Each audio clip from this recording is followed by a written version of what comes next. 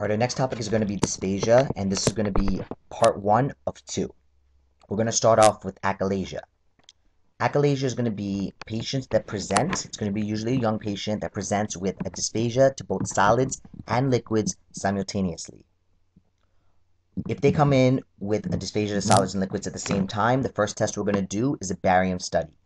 A lot of students mix this up and think you have to do manometry first, but remember, it's an esophageal disorder, and remember what we said, for esophageal disorders, we want to do a barium first. And to, to definitively diagnose it or confirm it, we're going to do manometry. If a patient has certain risk factors, risk factors including age over 60, anemia, heme positive stools, symptoms over six months duration, or weight loss, you're going to do an upper endoscopy. And why are we going to do an upper endoscopy in patients with these risk factors? Because we're going to be searching for a cancer. So if they have no risk factors, we do a barium. We're going to confirm it with a manometry. And our best initial therapy is going to be repeated pneumatic dilation.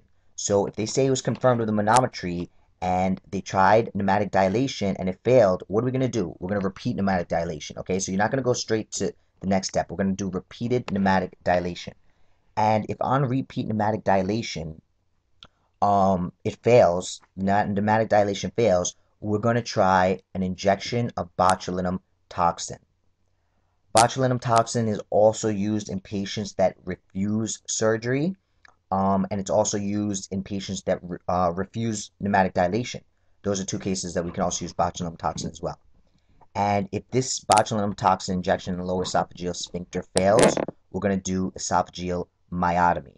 So achalasia, uh, dysphagia, solids and liquids simultaneously. Start off with barium, confirm with manometry. If they have any of these risk factors, we're going to do an upper endoscopy.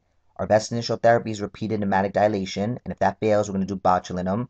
If they're poor surgical candidate or refuse pneumatic dilation or surgery, we're also going to do botulinum. And if that fails, we're going to do esophageal myotomy. Esophageal cancer this is going to be dysphagia to solids and liquids also, but how are we going to distinguish this between achalasia other than the risk factors? It's going to start off with dysphagia to solids, and then it's going to progress to a dysphagia um, with liquids. And um, the patients, we're going to look for certain risk factors as well, such as heme positive stool, um, patients over the age of 50.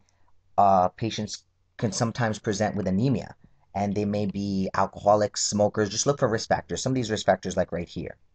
And our initial test is going to be endoscopy and biopsy. And for staging, if it's positive for staging, what are we going to do? We're going to use endoscopic ultrasound. And to check the degree of local spread, we're going to do CT scan. And to check for asymptomatic spread to the bronchi, we're going to do bronchoscopy. Okay? And the treatment is going to be surgical resection. And this is if there is no metastasis. If there is metastasis, we're going to do both chemo and radiation therapy. And the chemo we're going to use is 5-fluorouracil, and we're going to add radiation to that. So esophageal cancer, it's going to be First, a dysphagia solids that progresses to liquids. Initially, we're going to do endoscopy plus biopsy. To stage, we're going to do an endoscopic ultrasound, very important, very broad, high yield. And to see the degree of local spread, we're going to do CT scan. For asymptomatic spread to the bronchi, we're going to do bronchoscopy. We're going to treat it with surgical resection for localized, and for metastasis, we're going to do chemotherapy and radiation, and the chemo we're doing is 5-fluorouracil. Scleroderma is pretty easy because this is going to be pretty much the only one for your test that's going to present with dysphagia plus GI reflux symptoms. So if they come in with um, um, dysphagia plus GERD type symptoms, we're going to think scleroderma. And in scleroderma, what are we going to do? We are going to do an immobile open tube and our most accurate test is going to be motility studies. And for scleroderma, it's not written here, but what are we going to treat these patients with? We're going to treat them with proton pump inhibitors. Um, our last topic is going to be diffuse esophageal spasm and nutcracker esophagus. Uh, esophagus, sorry. and this is going to come, the patient's going to come in with a severe but intermittent chest pain with dysphagia.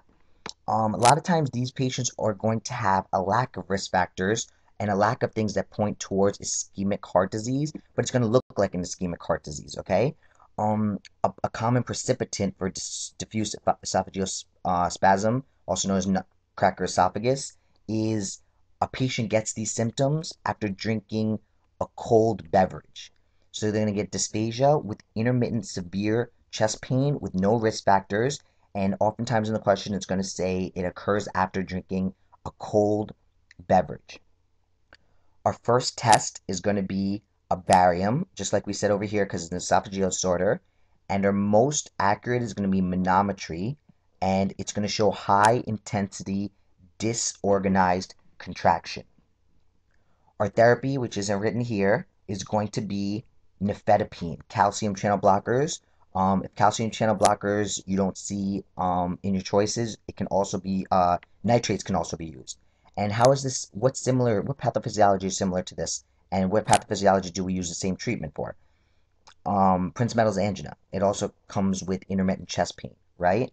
And what do we use for Prinzmetal's angina? We also use calcium channel blockers, preferably nifedipine, as well as nitrates.